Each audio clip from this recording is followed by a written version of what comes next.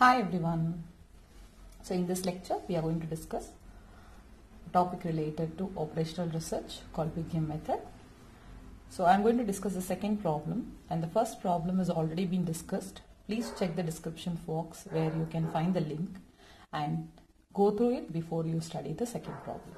So here we have problem number 2 where I have considered a maximization type. So it is max z is equal to 3x1 plus 2x2 subjected to 2x1 plus x2 less than or equal to 2 3x1 plus 4x2 greater than or equal to 12 so we have x1 and x2 greater than or equal to 0 so when it comes to BigM method the first step analyze the inequalities. So when it is less than or equal to, greater than or equal to, equal to type. So we have three cases. When it is less than or equal to constraint, add slack variable.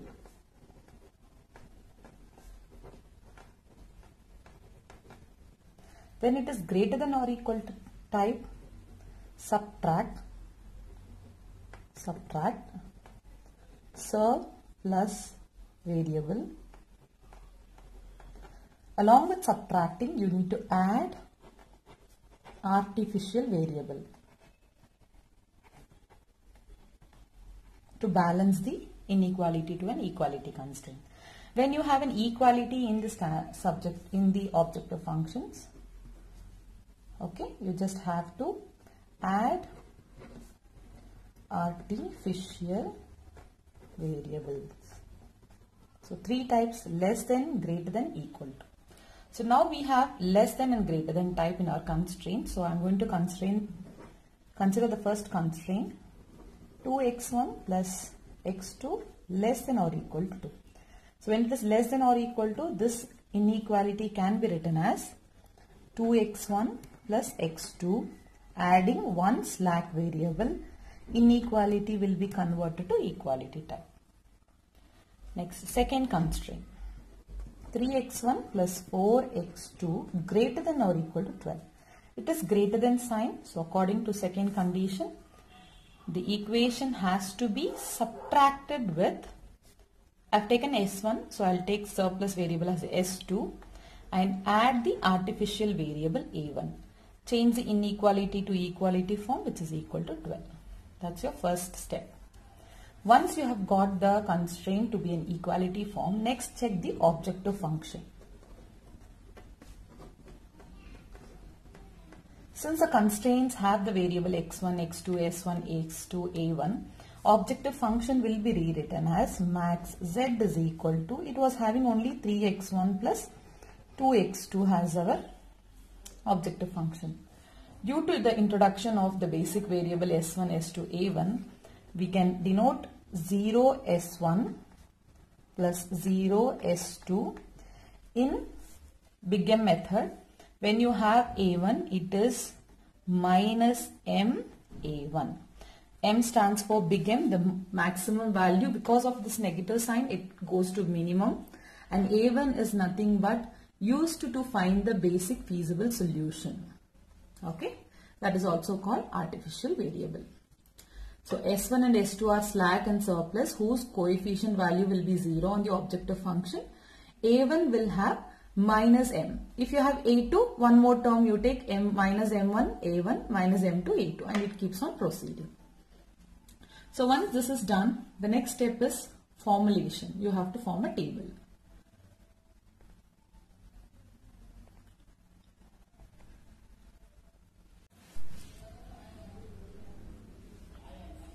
So here I have considered a table. So first column of the table will be CB that is coefficient of basic variables.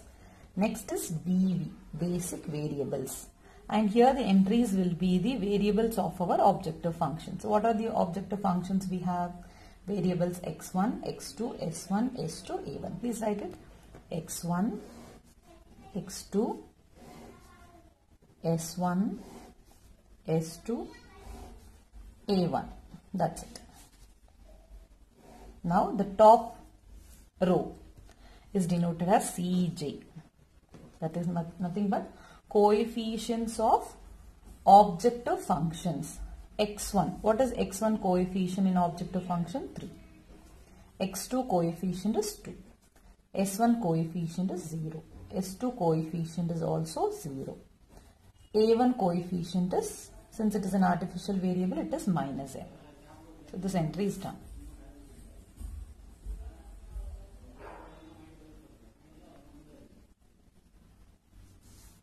Next, this is called quantity. That is nothing but the RHS value of the constraint. Now, first you start filling the basic variable column. So, basic variables are nothing but go to the constraint. The last value of your constraint the last value of your constraint, the last basic variable of your constraints are nothing but the basic variables in the table. So from the first constraint I have S1, so write it S1. In the second constraint I have A1, so write it A1. Now as I said CB stands for coefficient of basic variable. So whenever you are entering the values in the CB column or CJ column, refer the objective function's coefficient value. I repeat, CB column and CJ row, you have to refer the coefficient of objective function. S1. So what is the coefficient of S1 in the objective function? It is 0. A1. Coefficient of A1 in the objective function is minus M. So this is done. Next, we have to start filling the entries inside this table where this positions will be taken from the constraint. So from the first constraint x1 is 2, x2 is 1, s1 is 1, s2 and a1 is not there so it will be 0. Take the second constraint x1 is 3, x2 is 4, s1, s1 we don't have in the second constraint so it is 0, s2 is minus 1, a1 is 1. Remember, in the objective function only a1 is minus m. In the constraint a1 is coefficient 1. Okay. Next, the quantities are nothing but the RHS values of your constraint. So that is 2 and 12. So this is the form of entering the table. Next, we have Zj minus Cj.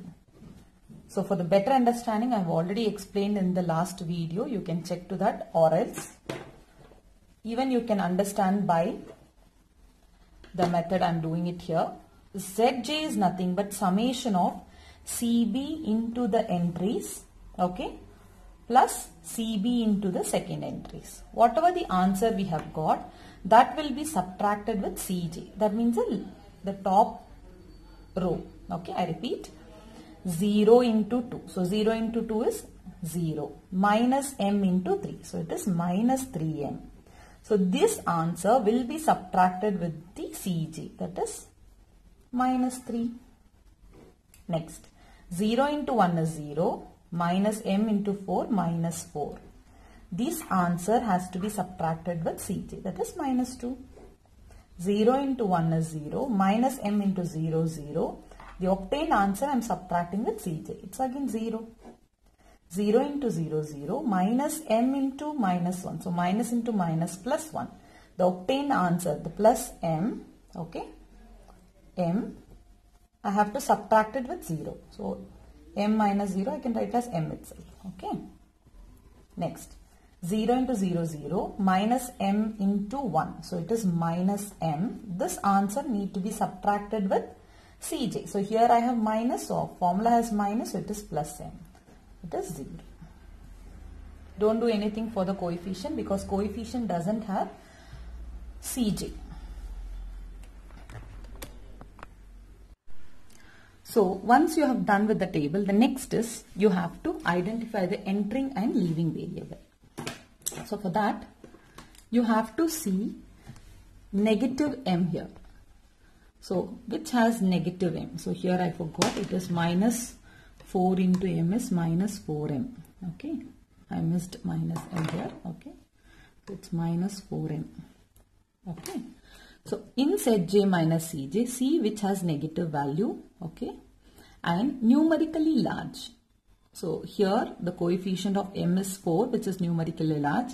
Here coefficient of m is 3 which is comparatively small. So numerically large. This cell is going to enter. So x2 is going to enter the basic variable table. Okay, because with this only we can find the quantity which help us to find maximum value of given objective function. So entering variable we got. Now we have to find the leaving variable. Now you should use the same uh, method which you have done in the simplex method, ratio. How to find the ratio? Quantity divided by the entering cell. So quantity is 2, 2 divided by 1. So it will be 2. Next, 12 divided by 4, 3. Here you have to check the maximum value in Zj minus Cj. In the ratio you have to see the minimum value. So 2 and 3 the minimum is 3. So the corresponding basic variable that is S2 is going to leave the table. So the maximum value of m with negative sign is going to enter the table. Minimum value of the ratio is going to leave the table. So next step, you have to find the intersection of these two entering and leaving variables. The intersection is nothing but 1. Actually here we don't have any problems because the intersection is called pivotal. It is already 1. If it is not 1, the corresponding row has to be multiplied or divided to make this pivotal 1. Here we don't have any problem. So we can directly go with the next table. So the next table x2 will be occupying s1 and s1 will leave the table. So coming to the next table. Here I have just mentioned the terminologies and coefficient values. Now what we have to do? We have to replace the entering variable. So here S1 is leaving. So in place of S1 I have to enter X2. CB is nothing but coefficient of basic variable. So what is the coefficient of basic variable in objective function? It is 2. Next, A1 will be written as A1 because we are just replaced S1. So whose coefficient is minus n. This is done. Now enter the values of this x2 since it is already 1 we have not done any row operation. So it is 2, 1, 1, 0, 0, quantity is 2. Okay. So what I am going to do it here, I will mention this as R1, R2 and here I have R1 dash, sorry, R1 dash, R2 dash. It will be easy for us to proceed with the method. Okay. So now what we have to do? We have to, here you just write because Zj minus Ej will be finding it right. So what we are supposed to do? We need to fill this value. Since this is the pivotal, below the pivotal it has to be 0. Below or above the pivotal it has to be 0. Same as simplex method. To make this 0, I have to use the row operation. So I'll just mention the row operation here. So R2 dash, we are going to write it for R2 dash, this row. Use the help of the new R1 dash and R2. Okay, that is R1 dash. I have R1 dash as 1 and R2 is 4. So I have to multiply here 4. Okay, and subtract it. So I can write R2 dash is equal to R2 minus 4 R1 dash. So 4 minus 4 we will get 0. This is a row operation which I have performed here. Okay. So now what I am going to do it to fill this entry use this row operation. R2 is 3 minus 4 into R1 dash. What is this? 4 into 2. So 3 minus 4 2s are 8. So 3 minus 8 is minus 5. As I told you this has to be 0. You can check. Here we have 4 minus 4. So it is 0. Pivotal above and below it has to be 0. Next 0 minus 4 into 1. So it is minus 4. Next minus 1 minus 4 into what we have here 0. So it is minus 1. Now 1 minus 4 into here I have 0. So it is 0. So 1 minus 1. 4 into 0 is 0. Similarly find the quantity also. So if here I have 2, where is it? Yeah, R2 is 12 minus 4 into R1 dash. What is R1 dash here? 2. Okay. So on difference we will get it as 4. 12 minus 8 is 4. So we got it. So now we don't want the first table. Find Zj minus Cj. If you have any negative value, you have to proceed further. Okay. If all the values are positive, you can stop the process. Okay. Now, here 2 into 2, 4.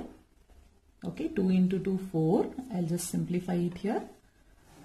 4 minus m into minus 5. So it is plus 5. This has to be subtracted with Cj that is 3. So 4 minus 3 5m. So it is 5m plus 1. So 5m plus 1. So it is positive. So no worries for this.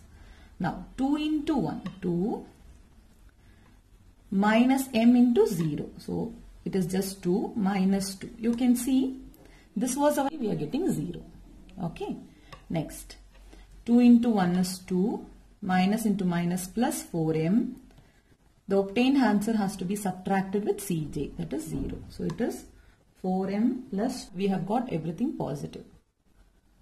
Okay. Similarly, so in the same way 2 into 0 0 okay minus m into minus plus m and with 0. So it is positive. 0 into 2 0 minus m into m it's minus m.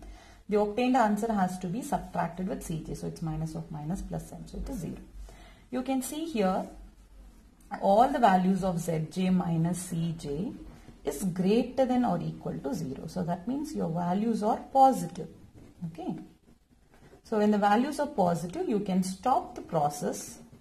But here, please check, but here, the artificial variable has to be removed from your basic variable. It was not being removed.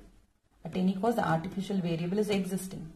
So whenever the artificial A variable exists in your basic variable and your process has completed, then this will not obtain a feasible solution. I repeat, since A1 is still present in the basic variable and we have to stop the process because all the values are positive, the objective function will not be a feasible. So you can just conclude it. Artificial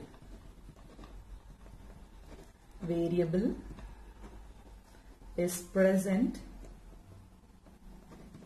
in basic variable. Therefore, no feasible solution. So your solution is not feasible.